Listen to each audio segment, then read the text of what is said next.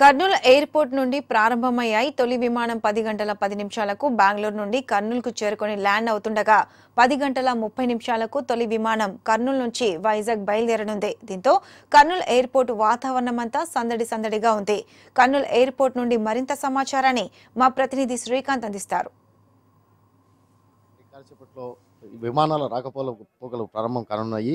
ప్రజల్లో వచ్చేసి తొలి ప్రయాణం అంటే కర్నూలు నుంచి వైజాగ్కు బయలుదేరుతున్నటువంటి విమానానికి టికెట్ తీసుకున్న ప్ర- ప్రయాణికులంతా కూడా ఎంతో ఉత్కంఠతో ఆ, ఉద్విగ్నంగా ఆ, క్షణాల కోసం ఎదురు చూస్తున్నారు తొలి ఫ్లైట్ కర్నూలు నుంచి బయలుదేరుతున్నటువంటి తొలి ఫ్లైట్ తాము ఎక్కబోతున్నాం అని చెప్పేసి ఉద్దేశంతో ఆనందాన్ని కూడా వ్యక్తం చేస్తున్నటువంటి పరిస్థితి ఉంది. ఈ నేపథ్యంలోనే అంటే మరి కాసేపట్లో అంటే రెండు రోజుల క్రితమే ముఖ్యమంత్రి జగన్మోహన్ రెడ్డి ఈ ఎయిర్పోర్ట్ను ప్రారంభించిన సందర్భంగా వచ్చేసి ఒక పోస్టల్ కవర్ను కూడా పోస్టల్ కవర్ను కూడా రిలీజ్ చేయడం జరిగింది. ఈ నేపథ్యంలో ఆ కవర్ను కూడా తొలి విమానానికి క- కలెక్టర్ గారు అలాగే ఈ జిల్లాకు చెందినటువంటి మంత్రులు కూడా అంది అందజేసేటువంటి పరిస్థితి అయితే ఉంది. దీంతో ఎయిర్పోర్ట్ అంతా కూడా వచ్చేసి పూర్తి పకడ్బందీగా అంటే తొలిగా తొలిసారిగా విమానం రాకపోకలు జరుగుతున్నటువంటి నేపథ్యంలో ఎలాంటి అవాంఛనీయ సంఘటనలు కూడా జరగకూడదన్న ఉద్దేశంతో భారీగా పోలీసు బందోబస్తును ఏర్పాటు చేశారు.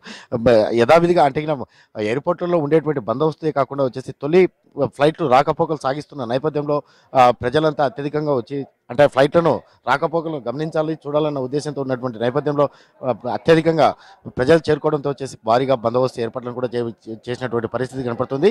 ఈ నేపథ్యంలోనే మరి కాసేపట్లో రాబోతున్నటువంటి తొలి ఫ్లైట్ ల్యాండ్ కాబోతుంది. పది మరి కాసేపట్లో దీంతో వచ్చేసి ఆ ఫ్లైట్ను రిసీవ్ చేసుకోవడానికి కూడా అధికారులు మంత్రులు ఇప్పటికే ఏర్పాటు చేరుకున్నటువంటి పరిస్థితి ఉంది. ఇది ప్రస్తుతం మరి కాసేపట్లో విమానం రాకపోకలు సాగిస్తున్నటువంటి కర్నూలు ఎయిర్పోర్ట్కు సంబంధించినటువంటి సమాచారం. Camera person